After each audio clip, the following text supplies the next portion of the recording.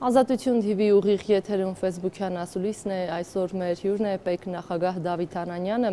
Շնորհակալ եմ մեր հրավերը երկրորդ անգամ ընդունելու համար։ Պարոն Անանյան, մամուլը տարեվերջին այսպես գրոհ եղավ մոտավորապես, հա, եթե ավելի բնորոշ նկարագրեմ, ու խնդիրը հենց ապարքեվավճարն էր կարճ կոնկրետ կասեք խնդրում եմ ձեր աշխատավարձը որքան է եւ որքան ապարքեվավճար եք ստացել բարդ բանաձևերով չէ ուղակի թվերով ասեմ 18 թիվի նկատի ունեք երևի, որտեվ 19 թվականի հունվար ամսին վերա, վերանայումներ են եղել եւ չափերի մեջ։ Աշխատավարձից չափը, եթե չեմ սխալվում, 795000 առանց, այո, առանց հարկերը պահելու։ Եվ ապարքեվատրման գումարը առանց հարկերը պահելու, եթե չեմ սխալվում, մոտ 2 միլիոնի կարգի։ Պարքեվավճարն է 2 միլիոն։ Այո։ Նույն հարցը պիտի ձեզ տամ, ինչ որ տվել էի ֆինանսների նախարար Ատոմ Ջանջուղազյանին, պարոն Անանյան, Ընդհանրապես հասկանում եմ, որ օրենք չեք խախտել եւ տևական ժամանակ հենց դա եք փորձում բարձրացրել, որ այնինչ արվել է, արվել է օրենքի շրջանակներում, բայց երբ ինձ ձեզ զուգահեռ կան մարդիկ, ովքեր իսկապես գրոշներ են ստանում որպես պետական աշխատավարձ, հա, պետական աշխատողներ, այստեղ օկտատերերը, որպեսզի առանձին առանձին չկարդամ, ասում են անտուն ընտանիքներ կան, անտուն բալիկներ կան, սոված բալիկներ կան եւ այլն, ինչ խղճով ձեզ այդ թիվը այդ պարգևավճարը ինքները ձեզ նշանակեցիք ու ստացաք, հետո ասում են նորմալ ծախսեցիք։ Ծախսեցի նորմալ կամ ոչ նորմալ, դա այլ հարց է, կպատասխանեմ հարցին, հետեւյալ որ նախ ժողովուրդը միշտ ճիշտ է։ Ցանկացած քննադատական խոսք, եթե իր մեջ պարունակում է ռացիոնալ հատիկ, ճիշտ է, եւ եթե այս կամ այն հարցի վերաբերյալ նույնիսկ ժողովուրդը ունի իր տեսակետը, որը շատ դեպքերում նաեւ հուզականության կամ էմոցիոնալ է, դա եւս ես կարծում եմ, որ մեր սխալն է, քանի որ մենք հանրությանը չենք կարողացել երկխոսության միջոցով կամ երկխոսության շրջանակներում բացատրել, թե օրինակ ինչով է տարբերվում պետական ծառայողի արժանապատի վարձատրությունը սոցիալական խնդիրների հետ, այսինքն այո, մենք ունենք սոցիալական բազում խնդիրներ, բայց նաև ունենք պետական համակարգ, որը որը պետք է գործի։ Մենք շատ դեպքերում չենք կարողացել հանրությանը ասենք, որ պետք է պաշտոնյան վարձատրվի իր որոշումների կայացման բաներից ելնելով, այսինքն ինչքան պատասխանատու որոշում պետք է կայացնի տվյալ պետական գործիչը կամ պետական պաշտոնյան կամ հանրային ծառայողը նրա բարեխիղճ աշխատանքից է կախված մնացած բոլոր սոցիալական խնդիրների իրագործումը։ Հետևաբար, այո, համեմատություններ կարող են լինել, բայց ես կցանկանայի, որ հանրությունը մի փոքր համեմատությունները ճիշտ անել, այսինքն համադրությունները ճիշտ մետրություններ կամ ճիշտ հասկացություններ իր հետ կամ ճիշտ գաղափարներ իրար իրար իրար հետ համադրել։ Այսինքն այո, ես կարծում եմ, որ պետական ծառայողը իր որոշումների կայացման այսպես ասած պետության պատճառվելիք վնասի կամ դրա չեզոքացման առումով պետք է ստանա արժանապատիվ եկամուտ, որpիսի ինքը զգա ապահոված եւ իր աշխատանքով նաեւ պետությունը զգա ապահոված։ Դրանց մեջ տարբերություն կա, կարծում եմ։ Դուք թեև ասում եք, որ համեմատելին համեմատելիի հետ պետք է համեմատել, բայց նախորդ ասուլիսի ժամանակ երբ հենց այս խոսքը ասաց նաև Ջանջուղազյանը, ինչ եմ բարբերաբար ցիտում, որովհետև գրեթե նույն իրավիճակն էր։ Ուղիղ եթերում հենց օկտատերերը գրում էին, այդ դեպքում ես չգիտեմ դուք դա որքանով համեմատելի կհամարեք, բայց ասում են այդ դեպքում բժիշկն ինչ պակաս աշխատանք է, ինչ պակաս կարևոր աշխատանք է անում, մանկավարժ, իսկ ինչու են իրանք ավելի ցածր վարձատրվում։ Ի նկատի ունեն պոլիկլինիկայի բժիշկներին առաջին ուղակի այս համեմատությունը ձեզ գոնե որպես ՀՀ քաղաքացու տարօրինակ չի թվում, որ ինչու այնտեղ պետք է աշխատավարձերը լինեն իսկապես բավականին ցածր եւ ձեր դեպքում այդքան բարձր։ Ես կարծում եմ, որ ընդհանրապես պետական ծառայությունում կամ հանրային ծառայությունում մենք պետք է խնդիր բարձրացնենք եւ արժանապատիվ, արժանավայել, վաստակի կամ եկամտի հարց կարգավորենք։ Ընդհանրապես։ Ընդհանրապես, այ ես կարծում եմ, որ բոլորի աշխատավարձը պետք է բարձր լինի։ Եվ եթե մենք մեր արտաբյուջեով նախորդ տարիներով արտաբյուջետային միջոցներից հնարավորություն ենք ունեցել այդ եկամուտները արժանապատիվ մակարդակի հասցնենք ինչ որ չափով կամ որոշակի չափով, ապա մենք կարծում եմ, որ ճիշտ ուղղության վրա ենք եղել։ Այլ հարց է, որ չափի վերաբերյալ այո կարծում եմ, որ օրենսդրության առումով ունեցել ենք այդպիսի բաց եւ առավելագույն չափի չափ չսահմանված լինելու պարագայում հնարավոր է որ մենք մի փոքր չափ ենք գերազանցել հանրության համար ընկալելիության առումով։ Ես կարծում եմ, որ ընդհանուր առմամբ, եթե մենք սթափ ենք մտածում եւ խիստ մտածում ենք ուղակի օգուտ օգուտ վնաս այդ հարաբերակցության շրջանակներում, կարծում եմ, որ մեր դրված եկամտային համակարգերը եղել են բավականին adekvat։ Համաձայն եմ բոլորի հետ, համաձայն եմ նաև ձեր հետ, որ ոչ պակաս կարևոր մասնագիտություններ կան։ Ուղղակի ես առիթ եմ ունեցել խոսելու, մի փոքր կա տարբերություն։ Տեսեք, պետական բյուջեն դա մեր բոլորիս գրպանն է, որտեղից որ վարձատրվում են բոլոր պետական ծառայողները։ Եվ բոլոր պետական ծառայողները բոլորն էլ կոռուպցիոն ռիսկային առումով որոշակի աստիճան կա, այո, բոլորն էլ այդպիսի պոտենցիալ վտանգ կա։ Բայց պետական բյուջեի ծախսային հոդվածներից ցանկացած կոռուպցիոն երևույթ ունի իր հետքը, հետագծելությունը, որը շատ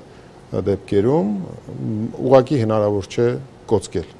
Պետական եկամուտների կոմիտեի պարագայում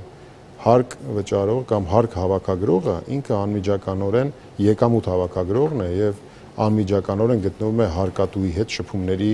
շրջանակներում։ Եվ այս դեպքերում է, այո, եւ այս դեպքերում է, որ հետքը, այսպես ասած, հետքի առումով մենք վերահսկողության ունենք բավականին մեծ ռիսկ։ Հետևաբար կարծում եմ, որ այս պարագայում, եթե հաշվի առնենք, հարկային ծառայողի կամ մաքսային ծառայողի աշխատավարձը կամ նրա հատուցումը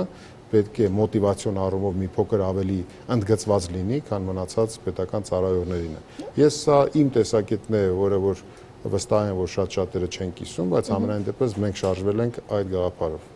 Դուք ասում եք, որ 2019-ին արդեն փոփոխություններ է արվել կոնկրետ ապարքեվավճարների առումով։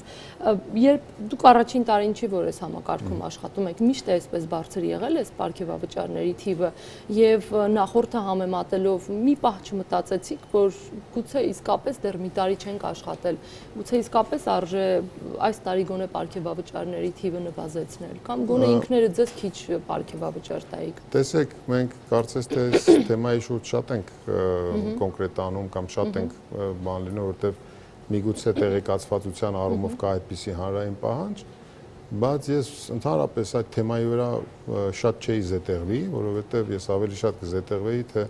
2018 թվականի ընթացքում մենք ինչպիսի ժամանակահատված կամ նաև պատմական առումով ինչպիսի ժամանակաշրջան ենք ապրել ու այդ ժամանակաշրջանը մենք առանց վայրի վերումների ենք ապրել եթե այո, ապարքեվատրում, ապա նախորդ տարիների համեմատ էականորեն բարձր պիտի լիներ 18 թվականի ապարքեվատրումները։ Իսկ եթե համատության մեջ դնենք նախորդ տարիների համեմատ, կարծես թե ընդհանուր առմամբ չափերը այդքան էականորեն չեն տարբերվում, ուղղակի 18 թվականի պետական բյուջեով նախորդ տարիների համեմատ շատ ավելի միջոցներ են նախատեսված եղել ապարքեվատրման ֆոնդի համար։ Շնորհակալ եմ։ Օկտատերից մեկը դեռ նախորդ ասուլիսի ժամանակ հարցնում էր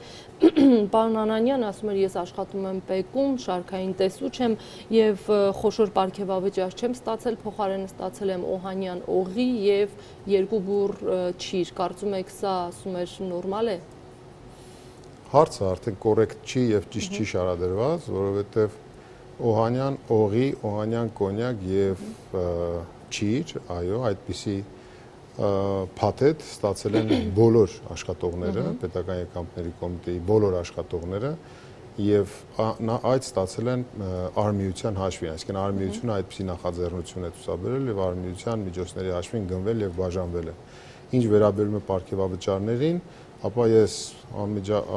ամենայն պատասխանատվությամբ հայտարարում եմ, որ ապարքեվատրում ստացել են բոլորը,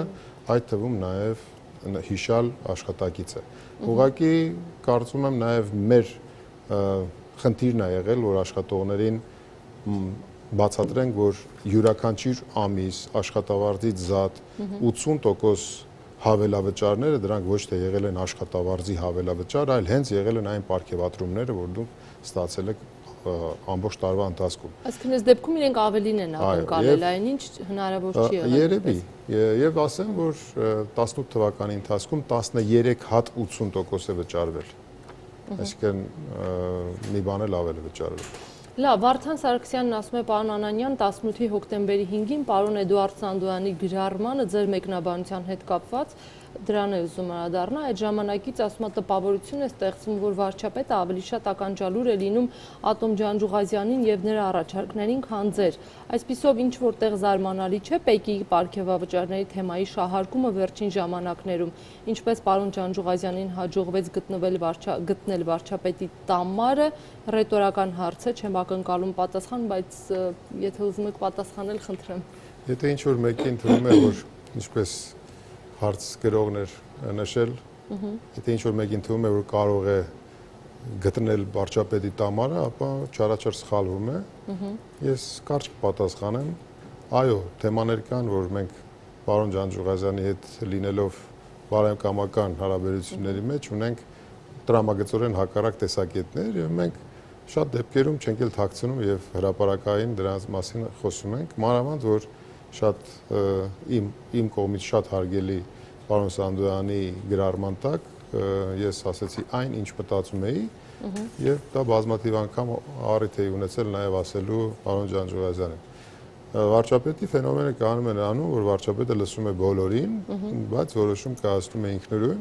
հետեւաբար եթե այս կամ այն հարցի վերաբերյալ վարչապետը կայացրել է այնպիսի որոշում որը կարծես թե պարոն Ջանջուղազյանի տեսակետին էր հարում, ուրեմն այդ պահին այդպիսի որոշում կայացնելու անհրաժեշտություն է եղել։ Որևէ խնդիր չկա, որովհետև բոլորս պրոֆեսիոնալ ենք, կան քննարկումներ, շատ դեպքերում վարչապետի մոտ էլ են լինում բուրն քննարկումներ մասնագիտական, վարչապետը լսում է եւ որոշակի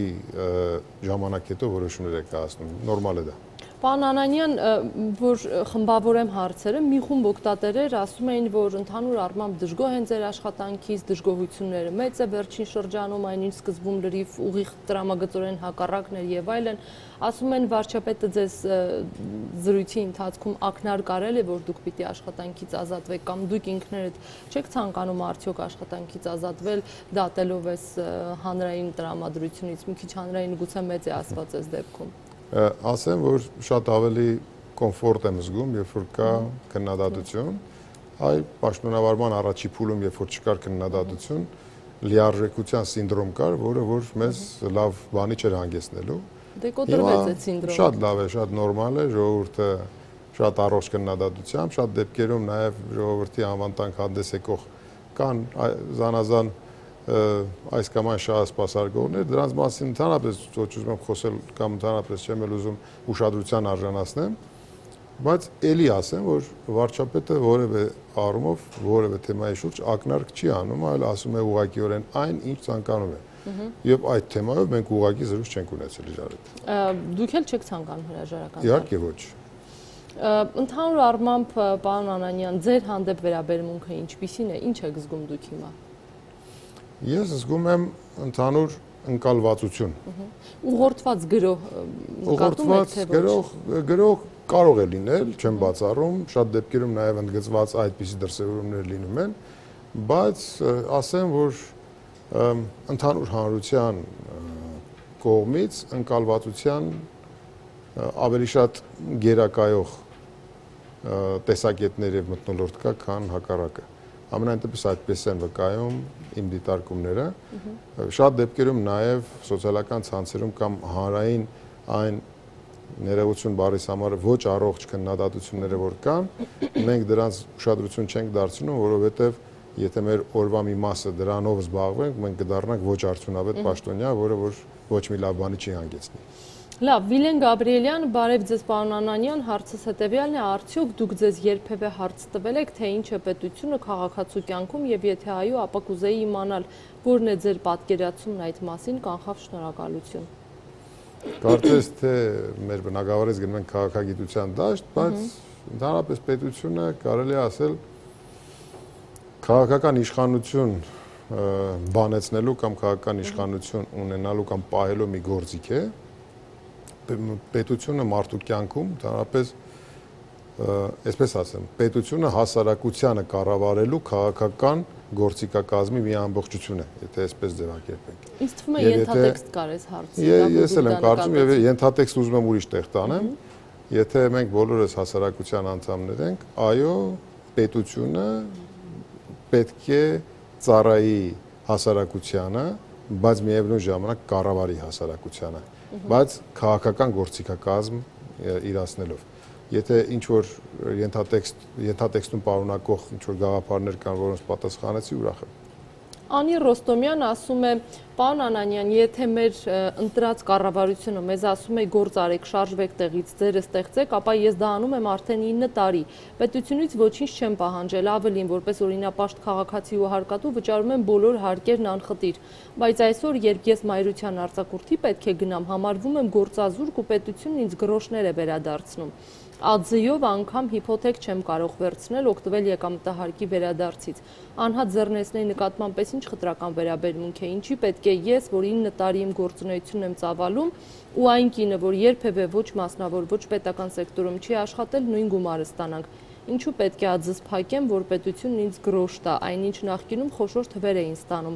Ես որպես երիտասարդ մայր ինչ արտոնություն ունեմ 9 տարի սեփական խնդիրներս պետության վրա չծանրացնելու, իմ գլխի ճարը տեսնելու հետո։ Ասեմ, որ հարց տվողի դիրքորոշումը կամ տեսակետը ընկալելի է։ Միգուցե այդտեղ հարց կա, որ պետք է քննարկվի, չեմ կարծում, որ ավելի շատ իմ լիազորությունների կամ գործառնությունների շրջանակում է։ Իսկ դուք ավելի շատ ԱԶ-ի մասով ԱԶ-ի մասով պատասխանեմ թերևս, այո, ցավոք սրտի այդպիսի սահմանափակում կա հիպոթեկային վարկերի հետ ստանալու տոկոս եկամտային հարկի տոկոսները հետ ստանալու որովհետև կարծում եմ ժամանակին, երբ որ 2014 թվականի նոյեմբերից կիրառվում էր այս իրավական նորմը, խնդիրը ավելի շատ սոցիալական հարց կարգավորելու մեջ էր, իսկ անա ձեռնարկատիրոջ կողմից բնակարանի ձեռքբերումը ավելի շատ դիտվում է որպես բիզնես ձեռքբերում, որտեղ անա ձեռնարկատերը եթե հաշվարվել է որպես բիզնես իրականացնող, ապա եթե հանդես է գալիս որպես անա ձեռնարկատեր գնումը կատարելիս, ապա դա ավելի շատ դիտվում է որպես բիզնես ձեռքբերում, այլ ոչ թե անձնական ձեռքբերում։ Այդտեղ չի դիտարկվում, որ ինքը քանի անշարժ գույք ունի, գուցե դա իր ձեռք բերելու առաջին տունն է օրինակ։ Չէ, որովհետև տեսեք, հենց առաջի տուն, երկրորդ տունման, եթե անձը հանդես գար որպես ֆիզիկական անձ, ոչ անաձեռնարկատեր հանդիսացող ֆիզիկական անձ, եւ եթե ունենար աշխատավարձ, ապա աշխատավարձից պահված եկամտային հարկը գնար կսպասարկեր հիպոթեկային վարկի տոկոսներին։ Ցավոք սրտի այդպիսի սահմանափակում կա անաձեռնարկատիրոջ համար, որի ուղագի տրամաբանությունը փորձեցի մեկնաբանել։ Փաստորեն այս դեպքում անաձեռնեցը տուժում է եւ հիպոթեկի առումով եւ նաեւ այն առումով ինչի մասին գրել էր օկտատերը։ Փաստորեն ինքը 9 տարի պատշաճ բոլոր հարկերը վճարում է, բայց երբ պիտի արդեն պետությունն իրեն օգնի, օրինակ, ես հասկանում եմ սա սոցիալ նախարարության տիրույթում է, բայց երբ որ պիտի պետությունն իրեն վճարի, չի վճարում կամ հակառակը վճարում է ավելի քիչ, քան ինքը տարիների ընթացքում վճարել է որպես հարկատու։ Այստեղ արդարության, անարդարության սկզբունք չկա։ Էլի եթե սոցիալական ենք նայում խնդիրը եւ ավելի շատ հուզական ենթատեքստում ենք բանանում, քննարկում լիովին համաձայն եմ հարցի մեջ պարունակող այդ ան, ան անհավասարության կամ այդ իրավիճակից միգուցե այդպիսի իրավիճակ արկա է, բայց եթե տնտեսագիտական վերլուծություններ անենք, իսկ այս դեպքում ես չէի ուզի շատ վերլուծություններ անենք, տեսեք անա ձեռնարկատ անա ձեռնարկատիրոջ եկամուտը հարկվում է բիզնես եկամուտների նման տարեկան եւ այլն։ Այդ դեպքում նաեւ կարող է լավ բան չասեմ եւ եւ հարց տվողը կարող է նույնիսկ չբավարար իմ պատասխանից,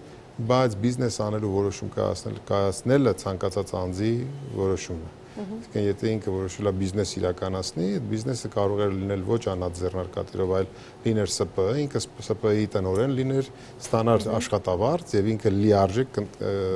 կստանար Այս դեպքում եկամտահարկից էլ կօգտվեր։ Եկամտահարկից էլ կօգտվեր։ Այսինքն ամեն ինչ բիզնեսը ստեղծելուց առաջ ճիշտ պլանավորման մեջ։ Լավ, մի այսպիսի հարց կա, չգիտեմ, ասում է որպես պետք նախագահ չի խնդրում ձեզնից խորհուրդ, այլ որպես ֆինանսական խորհրդատու։ Ունեմ 1 միլիոն դրամ, խորհուրդ տվեք, ինչ բիզնես սկսեմ։ 1 միլիոն դրամով դերևս բիզնես սկսել որևէ խորհուրդ չի տա, որովհետև ինքս բիզնեսով չեմ զբաղվել, որպեսզի ավելի լավ խորհուրդներ տամ։ Բիզնես խորհրդատուներ կան, որ ավելի լավ խորհուրդներ կտան գումարը այնքան էլ շատ չի, որ բանի տեսանկյունից եմ ասում, որ որպեսի ասենք բանկային ավանդ լիներ եւ ավանդային տոկոս լիներ։ Տերևս ամենաբարձր եկամուտը այս այս դեպքում պետական կարճաժամկետ այդ PKP-ներն են, պարտատոմսեր ձեռք բերելն է, որի եկամտաբերությունը շատ ավելի բարձր է, քան ավանդային տոկոսները բայց կրկին ասում եմ, որ 1 միլիոնը այն դրամագլուխը չէ բիզնես սկսելու համար։ Լավ, Արման Գրիգորյան, պարոն Անանյան, Գագիկ Խաչատրյանի բիզնեսները հարկային դաշտում են հիմա եւ ինչ հարաբերություններ ունեք դուք նրա հետ։ Գագիկ Գագիկ Խաչատրյանի հետ որևէ հարաբերություն չունեմ, բիզնեսները գտնվում են ընդհանուր հարկման դաշտում մենք ստուգումներ ենք իրականացրել, ստուգումներով լրացուցիչ հարկային պարտավորություններ ենք առաջադրել եւ սահմանված կարգով գանձել խախտումներ եք արձանագրել ու պահանջել նաև։ Այո, բայց խախտումները դրանք Թվերը կհիշեք, ինչ թվերի մասին է, ինչ խախտումների մասին։ Եթե չեմ սխալվում, մեկը կհիշեմ, Ապեիրոն ընկերություն կա։ Որ? Ապեիրոն ընկերություն, որը ներմուծումներով է զբաղվում։ Շոկոլադի, եթե չեմ սխալվում, սալիկների։ Կարծեմ 230 թե 250 միլիոն դրամ հարկային պարտավորություն առաջադրվեց, որը մուծվեց։ Այդքանով խուսափել էր ինքը փաստորեն հարկերից այս ընկերությունը ես դա այդպես չէի ձևակերպի, ուղղակի սովորական ստուգում ա եղել, սովորական ստուգման ժամանակ առաջադրվել են արկային պարտավորություններ, այնտեղ եթե չեմ սխալվում շահութաբերության հետ կապված խնդիր կար եւ կարծեմ անուղակի եղանակով հարկեր առաջ հարկեր են առաջադրվել։ ՊԿ այսօր ինչ խոշոր հնչեղ անուններով ընկերություններում է ստուգումներ անում։ Բազմաթիվ են, ասեմ որ այս պահին մոտորապես հանձնարարագրերը, որոնք հրապարակված են, եթե չեմ սխալվում, գերազանցում են շուրջ 600 թե 700-ը։ Ահա եւ մեր տարեկան ստուգումների պլանը 1190 կազմակերպություն է, եթե չեմ սխալվում։ Հնչողություն Մի քանի հայտնի անուններ կասեք, որ լայն մասաներին հայտնի։ Ասենք Գազպրոմ Արմենիա ամենա որ այս պահին խախտումներ այս պահի դրությամբ։ Այս պահին ստուգումը կասեցված է, որտեղ հավելյալ տեղեկատվության հավաքագրման խնդիր կա։ Ահա դա հիշեցի ուղակի։ Այս բան կասեցվածը պետք շարունակվելու է, այնպես չէ, կասեցվի ու կմնա։ Չէ, չէ, իհարկե ոչ, կասեցված է, դա ժամանակավոր գործընթաց է, որը նաև հաջորդելու է արդեն ստուգումները։ Լավ, Ռուդոլֆ Սահակյան ասում է, Շահգալդյան, երբ է Հայաստանում ներդրվելու խոստացված այսպես կոչված քեշբեք համակարգը ու չէ կարծում, որ առաջին տարում 1%, ապա 2-3%-ի փոխարեն ավելի արդյունավետ կլինի վերադարձնել գնորդին 3%, ապա 4-5 տարվա կൂട്ടակած գումարը։ Այստեղ նաև որոշ օկտատերեր գրել էին, որ անձնական տվյալների գաղտնիության խնդիր գուցե առաջանա, դուք որքանով եք երաշխավորում սա։ Դե անձնական տվյալների տվյալներ, որպես այդպեսին, այսօր էլ են գեներացվում պետական հա, եկամուտների կոմիտեում։ Պետք է իմանան, այս մարդը հարկային իմ կիմանան, այս մարդը խանութից ինչ է գնել։ Դե դրա համար մենք դա կամավորության սկզբունքով կիրառենք։ Եվ այն գաղափարը, որ քեշբեքերի համակարգ կիրառվի, դա անմիջականորեն կապված է, թե մենք երբ կգնանք եկամուտների համատարած հայտարարագրման համակարգի ներդրմանը, ու քննարկումներ կան, բայց դրանք ասենք այսպեսի վաղ ապագայում ներդրման ներդրման մասին չի խոսքը, մենք քննարկում ենք եւ կառավարությունն ենք կառավարության ենք ներկայացնելու մեխանիզմ։ Մեխանիզմի գաղափարը նա է, որ պետք է կամ աստիճանաբար կամ միանգամից բոլորը տարեկան եկամուտների հայտարարագիր ներկայացնեն եւ պետական եկամուտների ֆիզիկական անձանց մասին է խոսքը, ֆիզիկական անձիկ իրենց եկամուտների վերաբերյալ հայտարարագիր պետք է ներկայացնեն, այդ գործառույթը ՊԿ կարող է վերցնել իր վրա եւ իր համակարգում արկա տեղեկատվության հիման վրա կարող է գեներացնել տարեկան եկամուտների դեկլարացիան եւ եթե անձիկ ուզենան, ապա մենք կարող ենք նաև իդենտիֆիկացնել իրենց գնումները, ասենք ՀԴՄ մեքենաները ունեն բան ՀՑՀ կամ այդ ID card կարդալու հնարավորություն կամ ասենք QR կոդերի գաղափար դրանք բոլորը գաղափարները որ պետք է քննարկվեն 4% կամ 5%-ի գաղափարը մենք պատրաստ չենք այդքան cashback անելու, որովհետև պետք է նայել, թե մենք տարեկան տոկոսադրույքի ինչքան ենք առաջարկելու, եթե դա կլինի բարձր տոկոսադրույք, միգուցե կարելի է նաև 4%-ի մասին խոսել։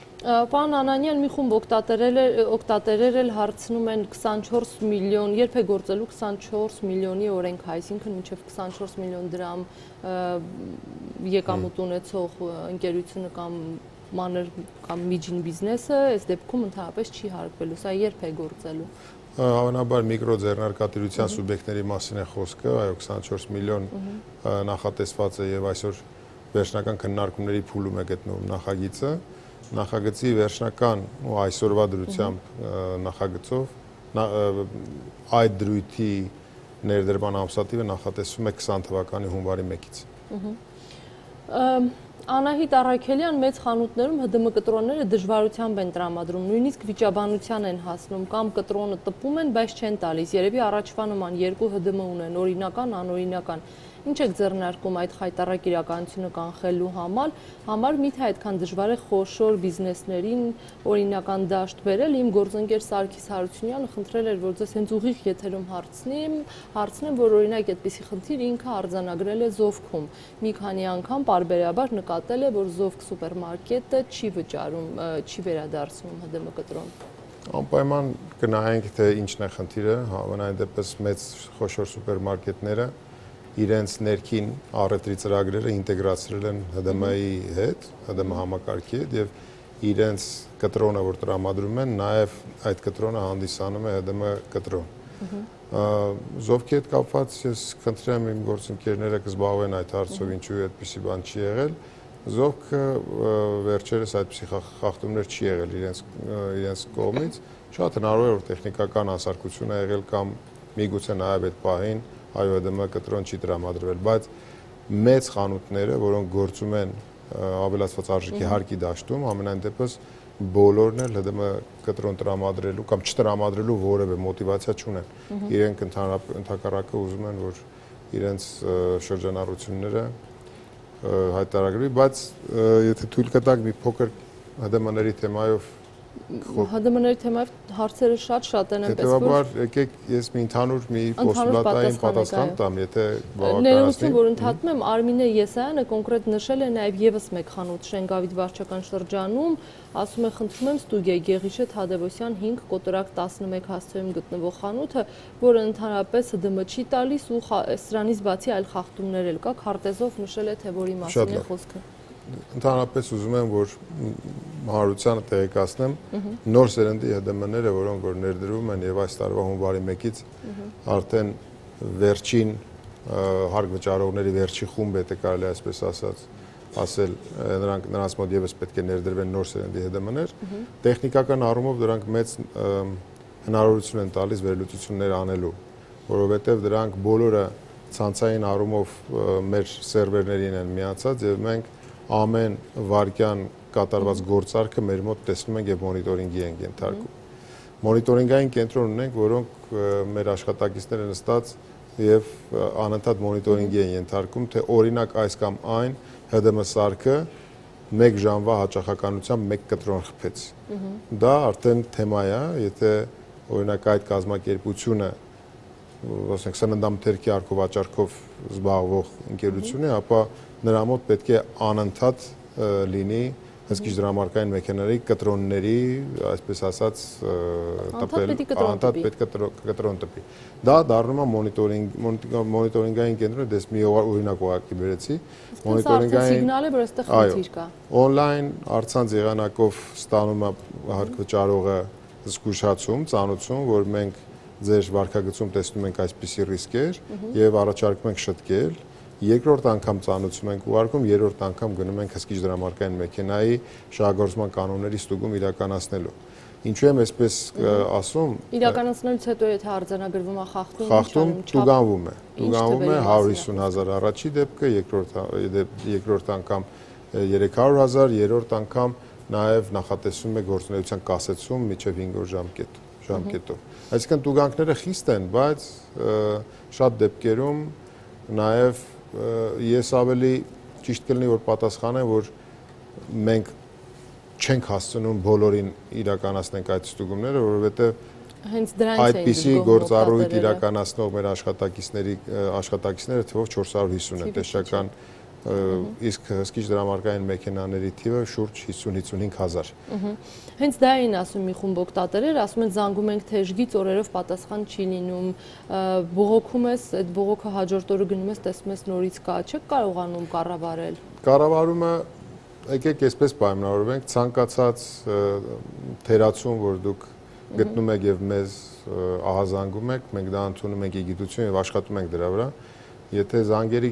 թեժ գծի մասին է խոսքը, մեր օրեկան ստացված պատասխանված զանգերի քանակը շուրջ 1000 է։ Այսինքն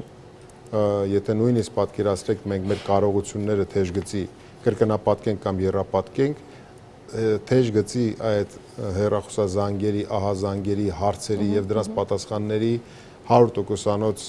սպասարկում դժվար է դժվար թե մենք կարողանանք ապահովել։ Պարոն Անանյան, նաև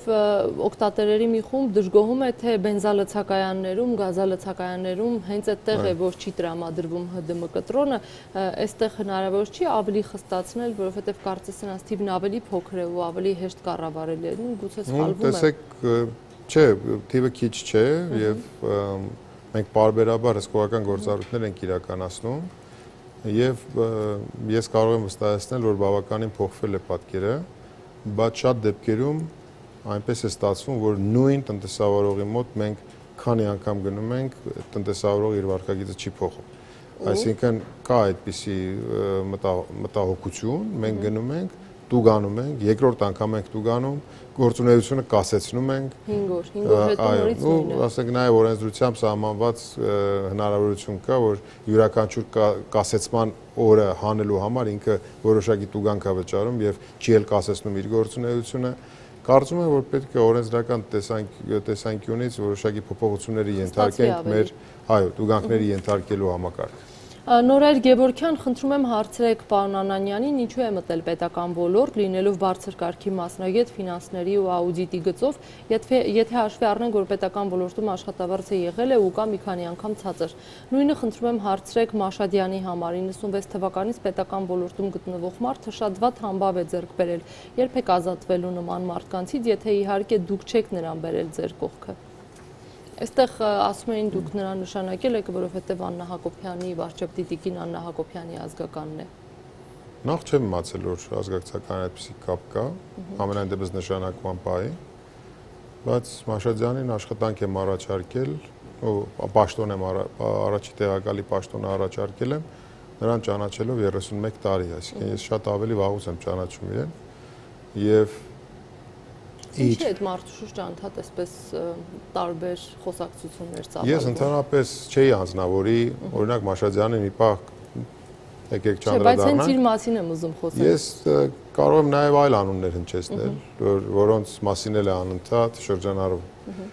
Պետական եկամուտների կոմիտեն այն կառույցն է, որը որ որը որ բարբերաբար թիրախավորվել է տարբեր ժամանակաշրջաններում։ Եվ ընդհանրապես հարկահավաքի գործը կամ մասնագիտությունը նաև ավետարանից սկսած ինքը Պարսավանքի սյունին գամելու ենթակա մասնագիտություն է եղել։ Հիմա եթե մենք անդրադառնանք պետական եկամուտների կոմիտեում 20 տարի եւ ավելի աշխատանք կատարած պաշտոնյաններին, որոնք որ աչքի են ընկել իրենց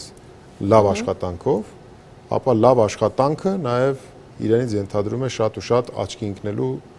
կասկածներ եւ ենթադրություններ եւ այո։ Ես կարծում եմ, որ մի քիչ ավելի ուրճացված է հենց Մաշադյանի շուրջը այդ ամեն ինչը նաև կան այսպես կոչված պատվիրված լրատվություն, որը որ կապում է Աննա Հակոբյանի հետ իր բարեկամական կապը եւ ասում է որ վարչապետը դրա համար է իրեն նշանակել Հետո որ որդուն աշխատանքի են տեղավորել, որովհետև Մաշադյանի հայ որդին է։ Դե Մաշադյանի որդին ընդհանրապես կապ չունի մեր այս քննարկման բանին, որովհետև Մաշադյանի որդին շատ լավ սովորել է դպրոցը թրիշկային կարծեմ թե էքստերնով ավարտել է, բանը կծառայել է, բոլոր համապատասխան կրթական ցենզը ապահովել է, նշանակվել է շատ ավելի վաղուց աշխատանքի քան իր հայրը ստացել է պետական եկամուտների կոմիտեի առաջին տեղակալի պաշտոնը։ Ինչ վերաբերում է իմ պետական ծառայության գալը, դա եղել է 16 թվականի հոկտեմբերին, եթե կհիշեք, Կարեն Կարապետյանի ձևավորած կառավարության զարթոնքային փուլներ, երբ որ մենք բոլորս հույս ունեինք, որ համատեղ ջանքերով հնարավոր է բան փոխել եւ ֆինանսների այն ժամանակվա ֆինանսների նախարար պարոն Արամյանը ինձ հրավիրեց աշխատանքի եւ ես համարեցի, որ իմ պարտականությունն է այդ փուլում միանալ պետական ծառայության։ Եվ բնականաբար նախորդ տարվա ապրիլյան զարթոնքից հետո ես չէի կարող անմասն մնալ եւ այս առաջարկը եւս ընդունեցի։ Այսինքն հեղափոխական իրավիճակներում աշխատանք եմ, աշխատանքի առաջարկ եմ ստացել, որը չեմ մերժել։ Ինչ վերաբերում է հեղափոխության, օկտատերից մեկն ասում էր պարոն Անանյան, այդ օրերին ձեր վերաբերմունքը ինչպիսին էր փողոցում ցույց անող երիտասարդների նկատմամբ, Սերժ Սարգսյանի հրաժարականը պահանջողների նկատմամբ, ձեր վերաբերմունքը ինչպիսին էր Սերժ Սարգսյանի նկատմամբ, այդ ժամանակ ինչպես էիք որակում այդ քաղաքացիներին։ Սերժ Սարգսյանի նկատմամբ իմ տեսակետ չեմ հայտնի բնականաբար, որովհետև առիթ չեմ ունեցել շփվելու նախկին նախագահի հետ։ Խոսքը անձնական շփման մասին չէ, որպես երկրի նախագահ։ Եթե եթե խոսքը նրա մասին է, ինչ եմ մտածում, որ օրինակ պարոն Սարգսյանը միգուցե պետք է հրաժարվեր վարչապետի պաշտոնից, կարծում եմ, որ այո, պետք է հրաժարվեր, որպես որովհետև կար այդպիսի հանրային պահանջ։ Դա իմ անձնական կարծիքն է։ Ինչպես է վերաբերվում երիտասարդությանը, որոնք որ հեղափոխության մասնակիցներին շատ դրական եւ շատ բարձանքով, որովհետեւ դրանց դրանց շարքերում նաև կային բոլորիս երեխաները եւ դրանք այսպես ասած այն շարժիչ ուժը, որ ընդհանրապես ցանկացած հասարակության հիմքում կա, երիտասարդությունը, երիտասարդությունը զարթոնքի դրսևորում ուներ եւ կարծում եմ ցանկացած մարդ ով ով մի փոքր սիրում է իր հայրենիքը եւ ապագա ապագայով մտահոգված է իր հայրենիքի այդ տարիներին հպարտության մեծ մեծ ողջավորություն է ունացել եւ Ձեր երեխաները մասնակցել են այդ հեղափոխության Այո, բայց այնպես չի որ մասնակցել են ցույցերին, միտինգներին, բան, բայց այսինքն համենայն դեպս նման արգելք չի եղել որ իրենք մասնակցեն եւ իրենք մասնակցել են իրենց զուսպ կարողություններով։ Լավ, հաջորդ հարցը ասում է, ինչպես եք վերաբերում նոր բրոկերական ընկերությանը, որը պետք է ունենա նոր ֆոլկի դերը եւ ասում է Ինչու են այդ նոր ընկերության հիմնադիրները Պեկից հարցում են Նորայր Գևորքյանը։ Պարոն Գևորքյանին կասեմ, որ հարցը ծայրից ծայր իրականությանը չի անպատասխանում։ Ոչ մի բրոկերական կազմակերպություն չի ստեղծվել, որը պետքա փոխարինի Նորֆոլկին կամ այդպիսի դերակատարում պետք է ունենա։ Ներկայիս Պեկ նախագահի տեղակալներից որևէ մեկը առողջություն չունի այդ բրոկերական կազմակերպության հետ։ Նախքին, այո, Մաքսային գծով նախքին տեղակալի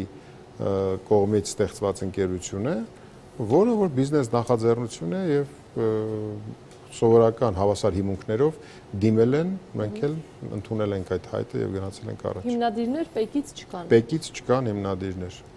Լավ, Վահե Գրիգորյան, պարոն Անանյան, 8 ամիս աշխատելու համար դուք վերադառնումա ապարքեվավճարներին ստացել եք 14 միլիոն դրամ ապարքեվավճար, ամսական 793 հազար դրամ աշխատավարձ։ Հարկային համահարթումը նախատեսել եք, որ ավելի շատ աշխատավարձ ստանաք, սա քիչ է, չէ՞ որ դրա հետ միաժամանակ իրականացվող կൂട്ടակային բաղադրիչի 2.5%-ով բարձրացման ու ակցիզային հարկերի ավելացման պատճառով դժելու են ցածր միջին աշխատավարձ ստացող մարդիկ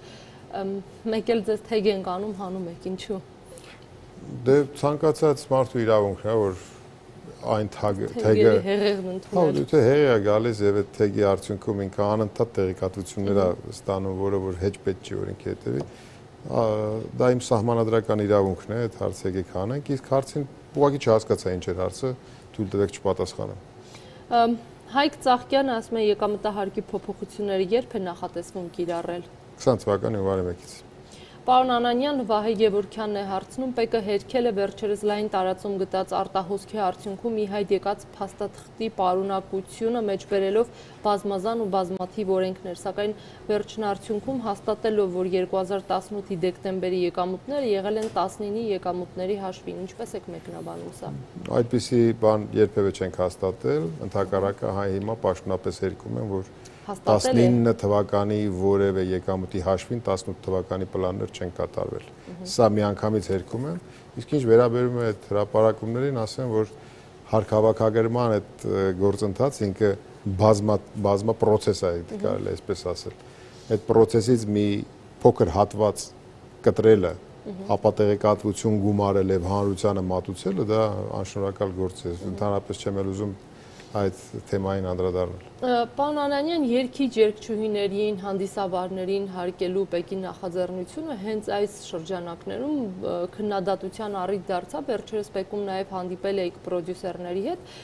Իրենք հիմնականում ասում են մեխանիզմը հարկման ինչպես է որոշվել։ Օրինակ մի հանդիսավար այդ օրը ստացավ 3000 դոլար օրինակ, բայց ձեզ ասում են ես 1000 դոլար եմ ստացել ու դրա է հարկում։ Ոնց եք իմանալու այդ մարդը իրականում ինչքան գումար է ստացել։ Թողում եք այդ մարդու խղճին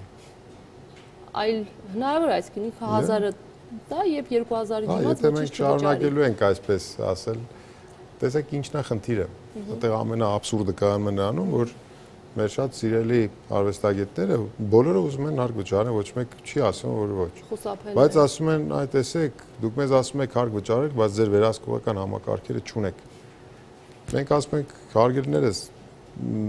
չենք վերահսկելու ձեզ։ Ահա եւ ուզում ենք, որ այն մտադրությունը, որ ունեցել ենք ձեզ հարկային հարկման դաշտ բերելու, որ մշակույթի գործիչները հարկ վճարելու մշակույթ պետքա սփռեն, մեր նպատակը հենց դա է եղել, որ դուք պետք է ազնվորեն հրապարակեք եւ հայտարարեք ձեր եկամուտները։ Սրա մեջ է ամբողջ գաղափարը։ Սա որքանով է արդարախոր, պարոն Անանյան, եթե օրինակ մենք կամ մյուսները հարկ ենք վճարում եւ լրիվ կառավարելի է, այս դեպքում ինչ է իրենց համար ասում, որ թողնում են ձեր իրենց Տեսեք, ըստեղ էլ հարցի մյուս կողմը կա։ Ով է վճարել այդ 3000 դոլարը։ Եթե մենք հարկային գործակալի ինստիտուտը մի քիչ խստացնենք եւ ասենք, որ տեսեք, եթե դուք հրավիրում եք երկչին, որ երկի ձեր կորպորատիվ հավաքին, կամ ձեր ծննդին կամ կնունքին կամ հանդիսավարը գալիս է անձը, որը որ վճարելու է, այդտեղ էլ կազմակերպչական խնդիրներ կա։ Միգուցե այդ անձը ինքը հայտարարագրի, ինքը հանդես գա որպես հարկային գործակալ։ Այստեղ հանրային պայմանավորվածությունների խնդիր կա։ Դե դուք ասում եք ինչքանով է արդար։ Այո, դուք աշխատում եք այստեղ եւ կազմակերպությունը, որտեղ որ դուք աշխատում եք, ձեր հարկային գործակալն է։ Ձեզ եկամուտ վճարելիս ձեր հարկերը պահում վճարում է բյուջե, ձեզ վճարում է ձեր արձերն վճարվելիք աշխատավարձը։ Նույն կերպ նաև իմ կազմակերպությունը, հանրային հատվածի կազմակերպությունը իմ եկամտային հարկերը պահում վճարում է բյուջե եւ տալիս է։ Մեր օրենսդրության մեջ մեխը կանում է նրանում, որ այնտեղ որտեղ որ եկամուտները վճարվում են ոչ հարկային գործակալի կողմից, ինքնահայտարարագրման նորմն է աշխատում, այսինքն թողում են հարկ վճարողների ազնվության վրա։ Սա է ամբողջ խնդիրը։ Եթե չկա հարկային գործակալ, ուրեմն անձը ինքնուրույն պետքա գնա եւ ներկայացնի իր տարեկան եկամուտների ամփոփ հաշվարկը։ Կհասնեք նրան ինչ ուզում եք իրականում, եթե այսպես թողնեք մարդկանց խղճի վրա։ Դե իհարկե, որովհետև մենք կարծում ենք, որ պետք է եղանակ փոխեն։ Մանևրելու տարբերակներ կա, չէ՞։ Մանևրելու Վճարողը կարող է ասել, օրինակ, նույն պատմությունը 1000 դոլար եմ վճարել եւ 1000 դոլար եմ հայտարարում, օրինակ 2000 այսպես ուղակի ձեռքն եմ դնում, ո՞նց եք իմանալու։ Տեսեք, ցանկացած այդպիսի գործարքներ, որոնք որ զարտուղի են, տանում են մութ կամ եսիմ ինչ են, չէ՞։ Եթե մենք հանրորեն բոլորս միասին չմերժենք այդպիսի գործարքները։ Հիմա մենք օրինակ Ինչ ենք ասում, որ մարդ սպանել չի կարելի։ Չէ՞։ Քիչ ծայրահեղ տարբեր են։ Չա ծայրահեղ են, կամ ասենք հայրենիքին դավաճանել չի կարելի։ Իսկ հարկ չվճարելը հայրենիքի դավաճանության հետ որևէ առնչություն ունի, թե չունի։ Որևէ զարգացած կամ զարգացող երկրում դժվար ներվի հարկը։ Այսինքն դե իմ ասած էս դա, եթե մենք միասին հանրորեն կամ հանրային պայմանավորվածություն ձեռք բերենք, որ հարկեր չվճարելը պետությանը կամ ազգին դավաճանելուն համահավասար արարք է, ապա մենք ձախողելու ենք միշտ։ Իդեպ այն ինչ ես ասում եի արդարության սկզբունք, այստեղ օկտատերերը նաև դա են գրել, ասում են թող հարկվեն, եթե հարկվելու է ուսուցիչը բժիշկը, ապա թող իրենք էլ հարկվեն, բայց լավ մեխանիզմներ մշակեք, որ չթողնեք մարդկանց խղճի։ Համաձայն եմ, եթե մեխանիզմները կատարյալ չեն, իհարկե պետք է մշակեք։ Այստեղ ես հիշում եմ հանդիպման ժամանակ Պեկում պրոդյուսերներից մեկը, թե ռեստորանի տերերից մեկն ասաց, օրինակ հարկվելու է թեավճար ասված ամբողջ աշխարհում դա չի հարկվում Ինչու պատասխան չստացան։ Տեսեք, թեավճարը ումն է։ Ցանկացած ցողինը կամ երկչինը։ Թեավճարը, եթե ներառված է հաշվի մեջ, որը որ մենք վճարում ենք, դա կամ կազմակերպության եկամուտն է, կամ մատուցողի եկամուտն է։ Երկու դեպքում էլ դրա հարկման ենթակա է։ Որևէ բան, այստեղ այլ այլընտրանք չկա։ Եթե ես որպես սպառող վճարել եմ այդ թեավճարը, դա պետք է հարկվի։